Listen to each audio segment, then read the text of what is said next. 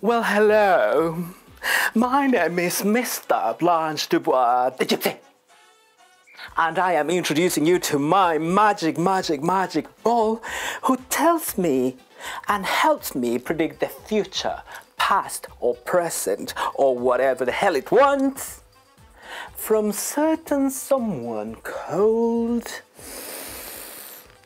the smiley virus, better known as Miley Cyrus.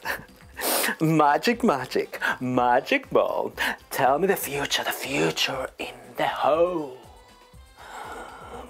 I see. I can see that in a past life, Miley Cyrus used to be the tiny bacteria living at the backside of every little crisp. And I can see furthermore that in the proximal date, she will suffer from a strong case of the clitoris migration to the tip of the tongue. And that is all what I have to say. Who wants to be next?